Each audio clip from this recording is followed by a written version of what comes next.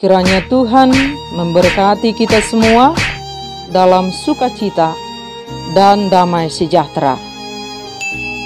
Amin. Apa yang paling mudah membuat kita berubah menduakan Tuhan?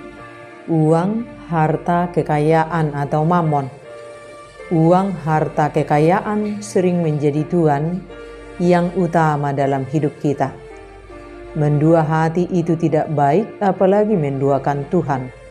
Waspadalah agar jangan mendua hati. Ingatlah orang yang mendua hati tidak akan tenang hidupnya.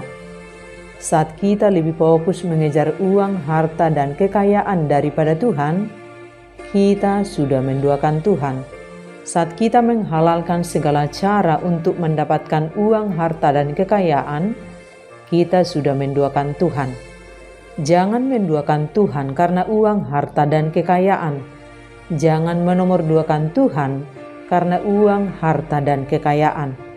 Jangan memperalat Tuhan demi mendapatkan uang, harta, dan kekayaan.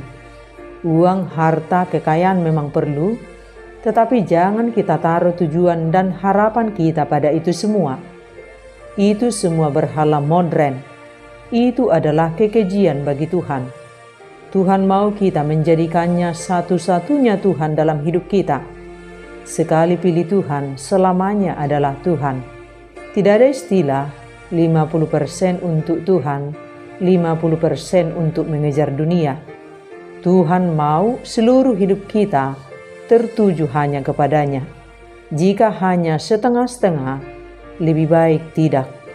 Tak seorang pun dapat mengabdi kepada dua Tuhan, karena jika demikian, ia akan membenci yang seorang dan mengasihi yang lain, atau ia akan setia kepada yang seorang dan tidak mengindahkan yang lain.